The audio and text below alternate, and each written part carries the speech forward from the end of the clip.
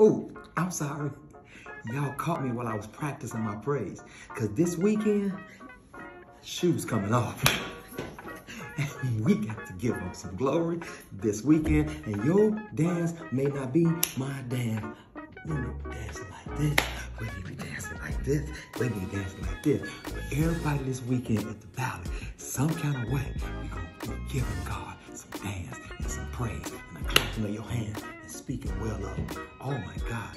We are part of this game called life.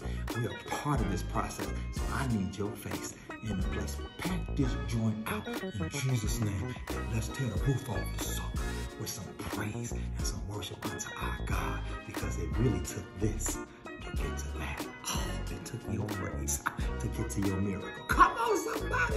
This weekend, wake up and get yourself to church and bring somebody.